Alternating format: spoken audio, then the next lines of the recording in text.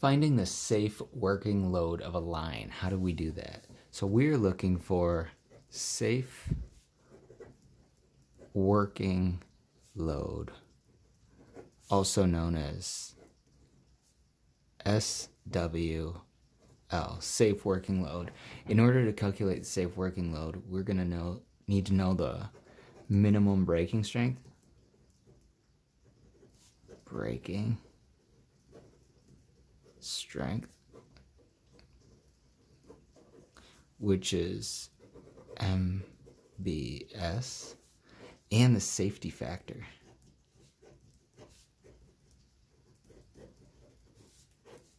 S F. And so if we let's look at a problem from the statements to recognize here.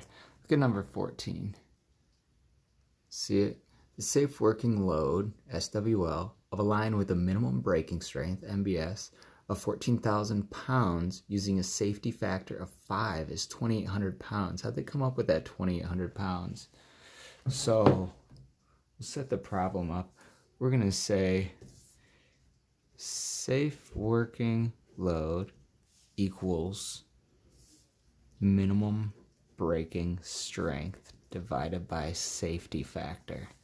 And we have numbers for all these, right? The safe working load is that's what we're looking for. And then we have the minimum breaking strength. In this case, the one we just read on 14 was the minimum breaking strength of 14,000 pounds. And the safety factor is equal to 5. So if we set it up again, we say safe working load is equal to the minimum breaking strength of 14,000 pounds divided by the safety factor 5 equals, we plug it into our calculator,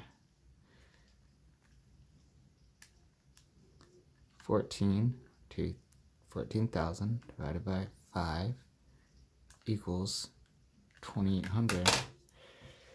So the safe working load equals 2800 pounds.